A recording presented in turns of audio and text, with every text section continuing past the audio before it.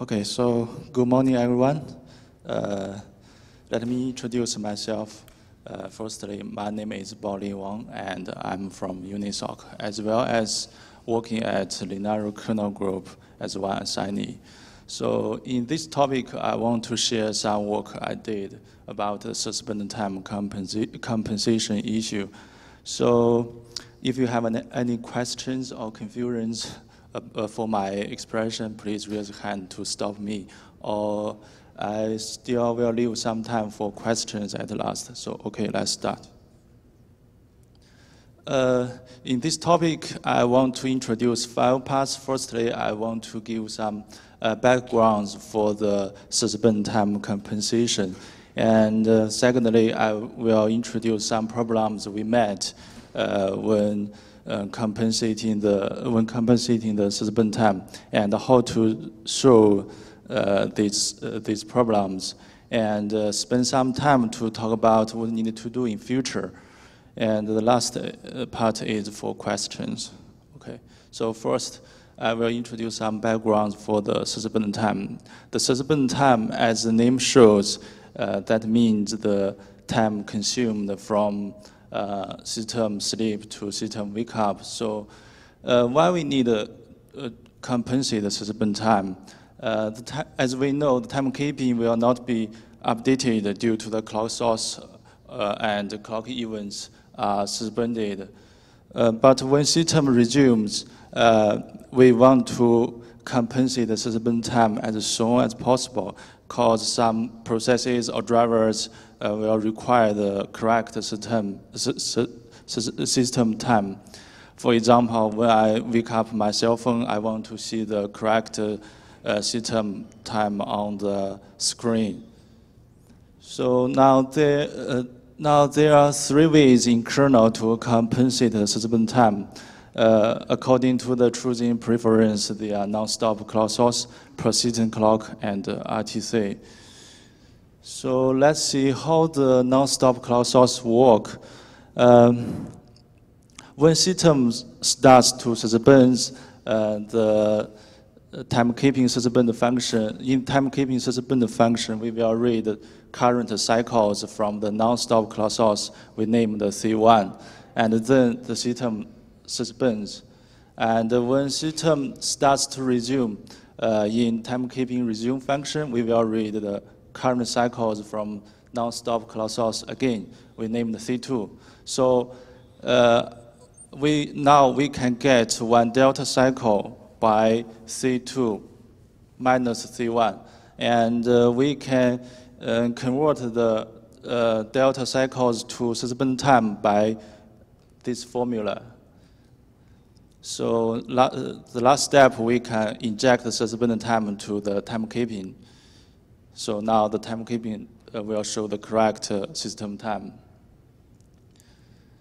And for persistent clock, it is almost similar with the, the non-stop clock source, but we don't need to convert current cycles to the suspended time, since we can read the suspended time from the persistent clock.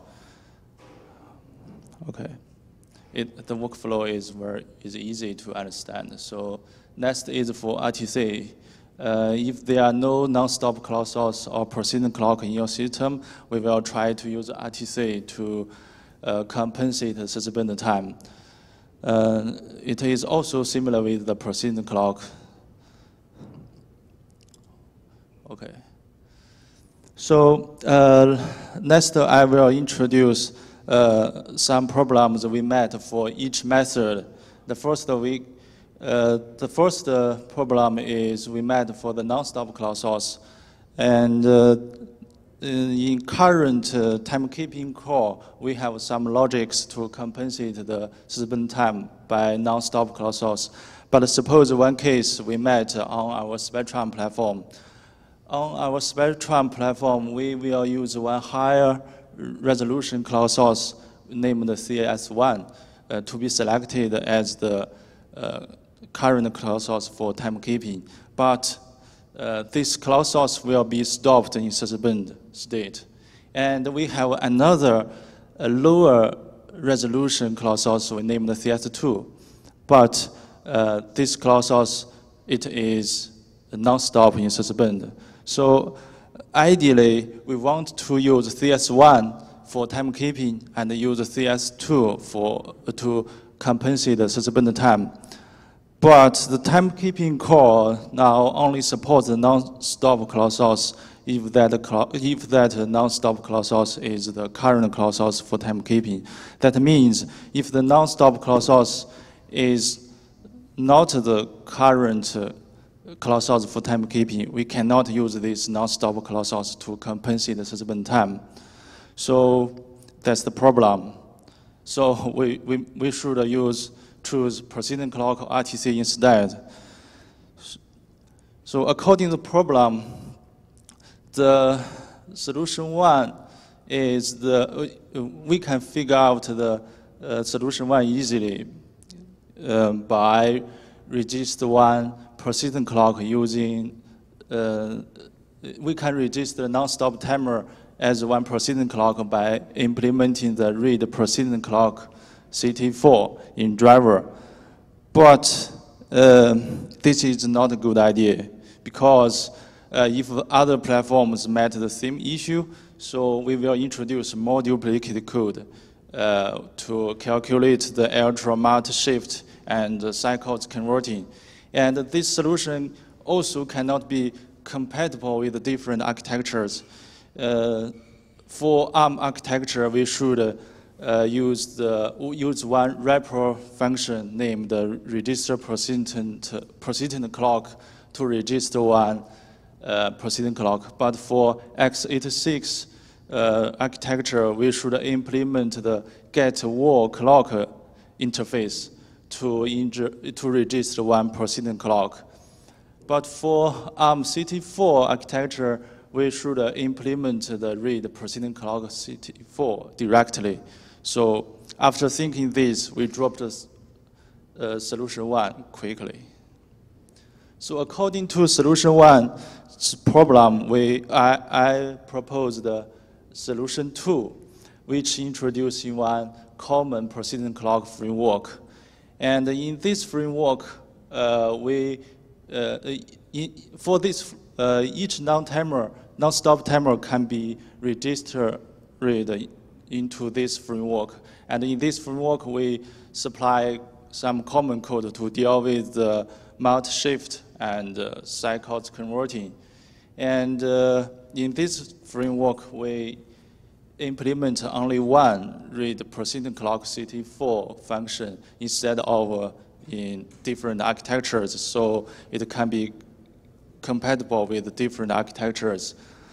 This solution seems can work, but it is still not the best solution because we have no reason to invent uh, another set of data structures which just uh, copy from the clock source and uh, some similar read, uh, read functions uh, with a sequence counter. And another, we can use this helper function. We can, can avoid introducing extra multi-shift parameters when converting the cycles.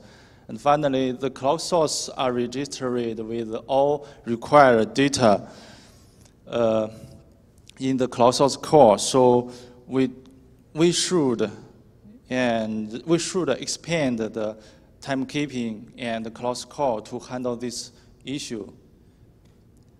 So according to the time maintainers suggestion, uh, we introduce one suspended clock source for timekeeping uh, clock source core to compensate the uh, suspended time. So let's see how how the suspended clock source, uh, suspended clock source work. Firstly, we should uh, select one suspended clock source.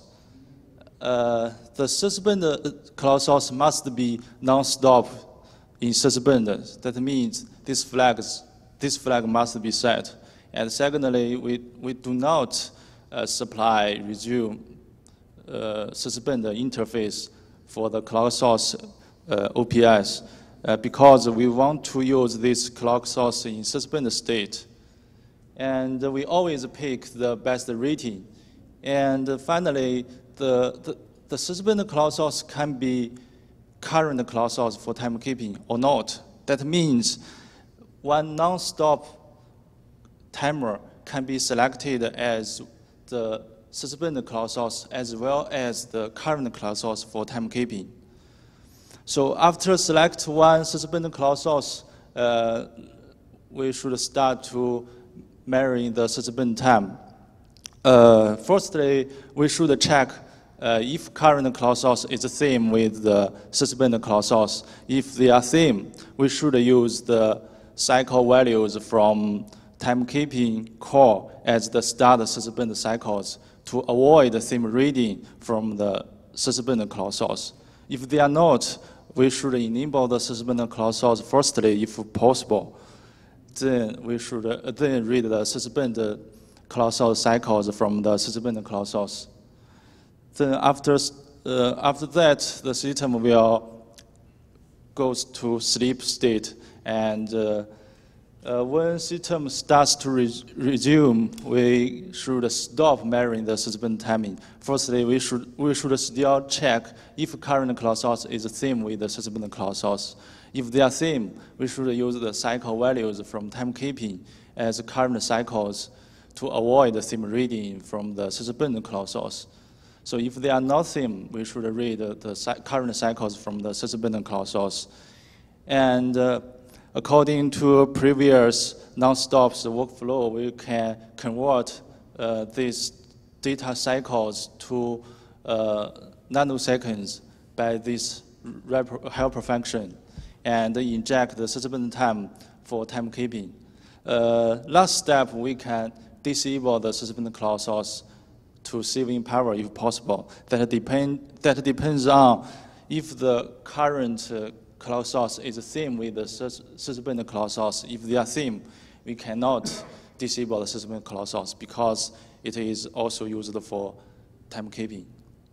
So uh, when calculating the suspended time, we should consider the clock source mutex issue because as we know, uh, the source core will hold the source mutex lock to select, register, or unbind one source.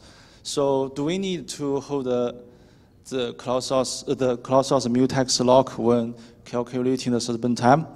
So after, after some thinking and discussion uh, with Daniel or John, um, we think we, don't, we, we do not need the clock source mutex lock because um, when we start to uh, measuring the suspended time uh, from timekeeping suspended function. Uh, now, uh, system, the system's processes are freezed, and non-CPUs and the interrupts, uh, the, and the interrupts are disabled now. So now there is no risk to select, register, or unbind one clock source. So uh, it is possible to calculate the suspended time without holding the mutex lock to remove, to remove the uh, compensation efficiency. Uh, another small thing we should consider how to unbind one suspended clock source. Uh, if we want to unbind one suspended clock source from the user space, uh, the kernel will try to install a replacement uh, suspended clock source. Uh, if there are no uh, replacement suspended clock source, we will just let the clock source go and have no sus suspended clock source in system now. So the system will uh, try to compensate the suspend time uh, through pers persistent clock or RTC instead. Okay, solution three was accepted uh, because uh, we, it supplies one common mechanism to be compatible with uh, different architectures. And we didn't invent new, we didn't invent some similar structures. And we didn't introduce complexity. Uh, now there are still three cases to handle the uh, suspended time. And also, uh, we add some power saving consideration uh, when uh, we will disable the suspended clock source if the cl suspended clock source is not used. Okay, this for this is the problem and the solution for the non-stop clock source. So next is for the persistent clock. The persistent clock is one weird clock which cannot be registered as one uh, source or RTC. Um, the problems we met is some architecture, some architectures still uh, implement the obsolete read persistent clock interface to uh, register one persistent clock. And this, this API is obsolete. And because uh, it is not 2038 uh, year safe, and if you don't know the, don't, or don't understand the 2038 issue, you can ask Arnd he's here. And we should uh, replace the, this obsolete uh, interface with the read persistent clock64. Okay, so uh, firstly, we want to remove the obsolete um, API. So as we know, Arnd Bergmann did one big cleanup for some dead architectures so with these dead architectures going away, uh, some redundant read persistent clock uh, interface are removed too. So such as the Blackfin FRV or M32R architecture. So we continue, uh, we also uh, convert the persistent, the weird persistent clock to RTC or clock source instead like ArcSH or OMAP counter 32 driver. And if the persistent clock cannot be removed, also uh, cannot be converted to RTC or clock source, we should convert to use the read precision clock CT4 interface, uh, such as these uh, architectures. Uh, we uh, converted these architectures. Uh, this is for the persistent clock. So if there are no uh, non-stop clock source or persistent clock in your system, uh, the system will try to use RTC to compensate the suspend time through the RTC suspend and the RTC resume interface. The problems we met, um, first is also the 2030, 2030 year issue Arnd both and and I have sent some patches to fix this issue. And another problem we met is the uh, expiration risk. According to our investigation for all the RTC drivers, we found uh, one drivers will be expired before year 2017, and seven drivers will be expired before year 2038, and 23 drivers will be expired before year 2039, and 7, 72 drivers will be expired before the year uh, 2100 and um, more than 100 drivers will be expired before uh, year 21 and 6. So we must find one software solution to avoid the expiration risk, uh, although the RTC hardware limitation is confirmed. So the basic, sorry. So the basic concept we figure out is um, introducing one range offset for RTC so we can uh, add the offset uh, when reading when reading from the RTC and uh, subtract, subtract the offset when writing back to RTC. So in this way, we can expand the RTC software range.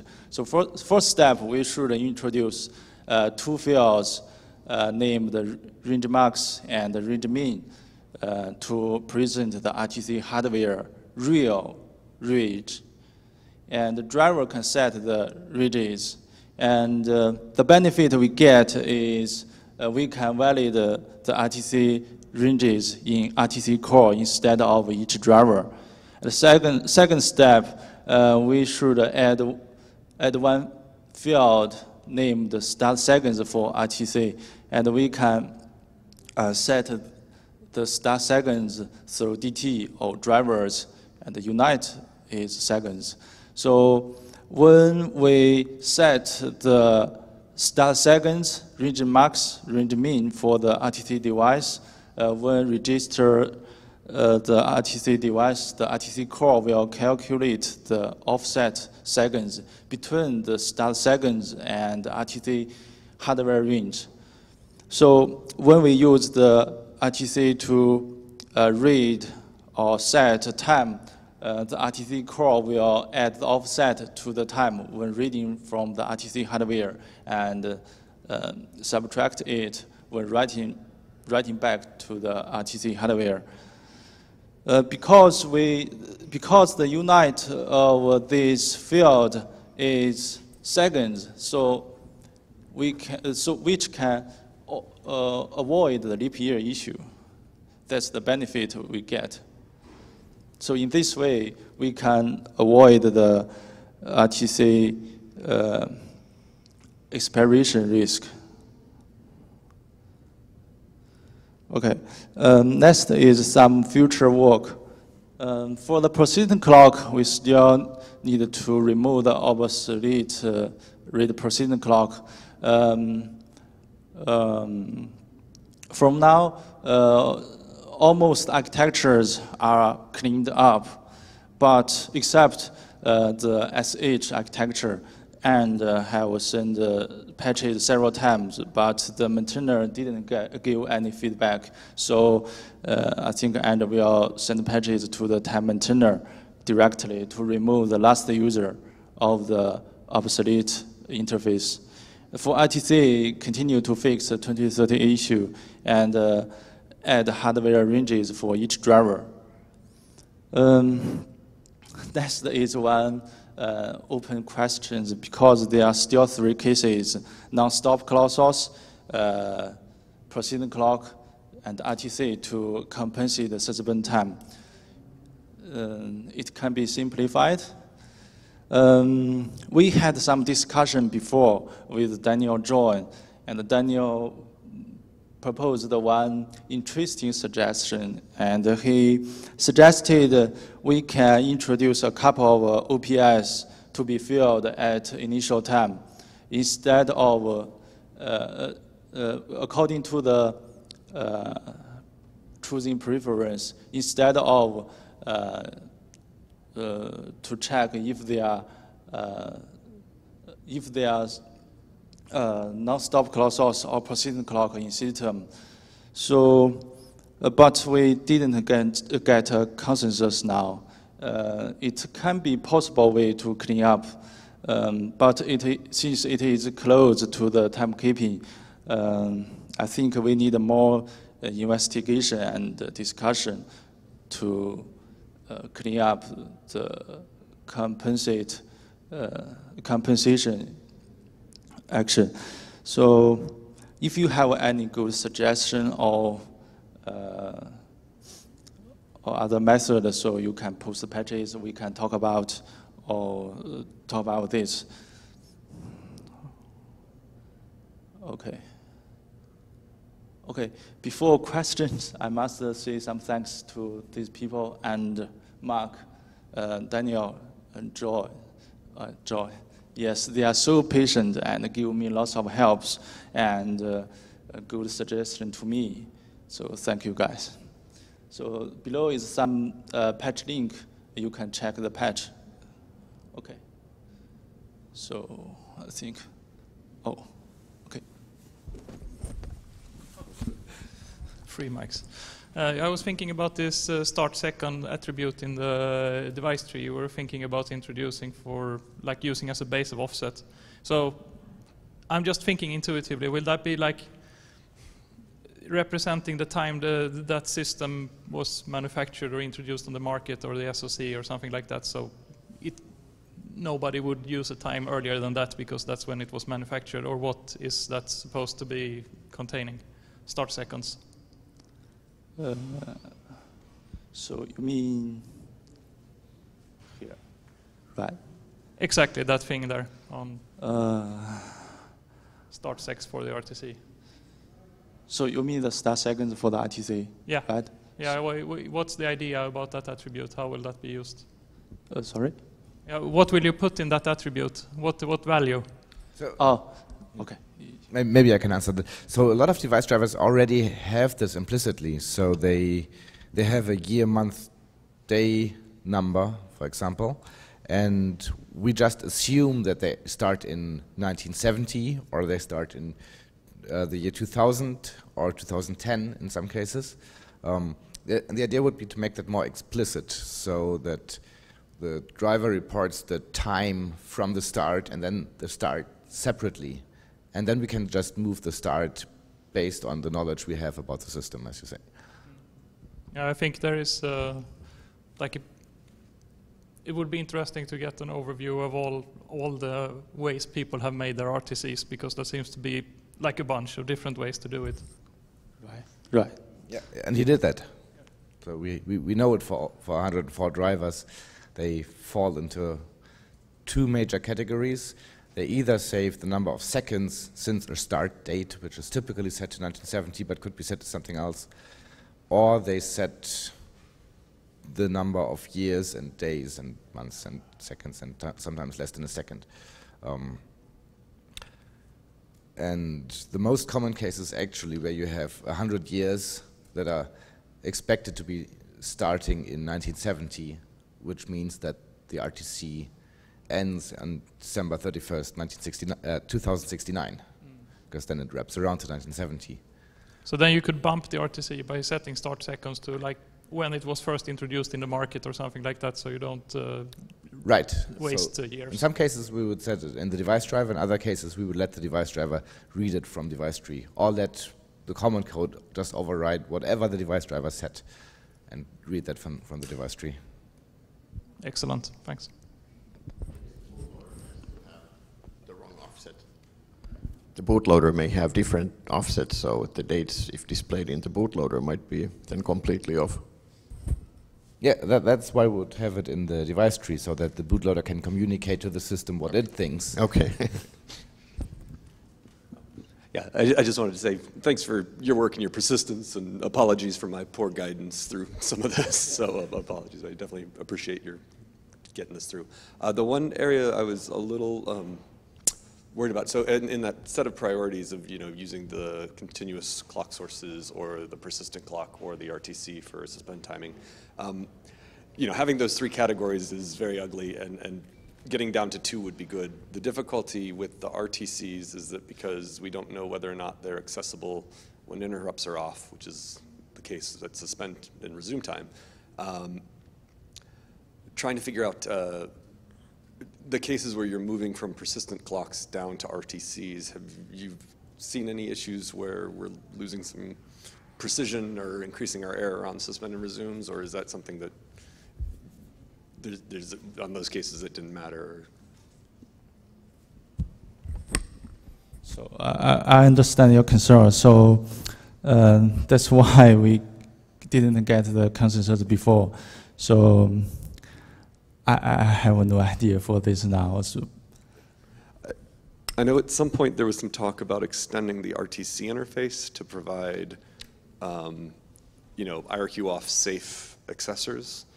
And so if the RTC structure had that entry, you knew you, we could use it, so you could use it directly in the timekeeping code, calling out to the RTC code.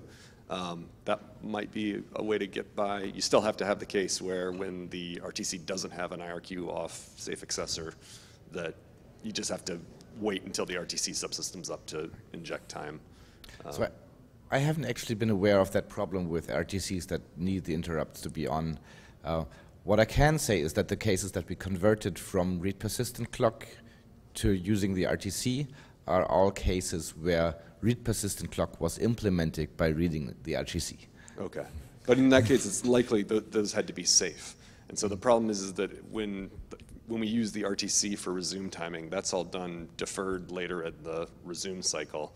And so you end up with extra time where different drivers might see the pre-resume time, and then also some issues with the amount of error that gets injected. Um, But yeah, it's ho- hopefully not super critical for those platforms. I don't know.